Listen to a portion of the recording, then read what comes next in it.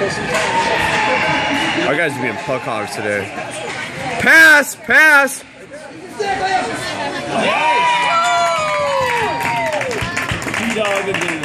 Leon, you're wide open, buddy. Good job.